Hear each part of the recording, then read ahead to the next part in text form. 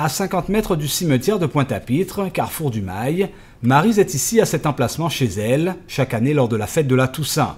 Cela fait 12 ans que ça dure. Avec le sourire en prime, elle interpelle les passants qui se rendent sur les tombes familiales, mais les temps ont bien changé, les ventes se font de plus en plus rares. Cette année, je trouve que c'est vraiment dur par rapport aux autres années. Je pense que c'est les euros, justement. 2000 euros de chiffre d'affaires, Marie doit se contenter de 300 euros depuis deux ans. Il y a pourtant le choix des fleurs, des couleurs et des prix. Comptez un bouquet à partir de 2 euros. Marie est installée depuis 5 heures du matin. C'est seulement à 8 heures qu'elle aura son premier client. Habituellement, à peine installée, elle avait déjà vendu une dizaine de ses précieuses fleurs, marguerite ou lavande. Les fleurs sont chères.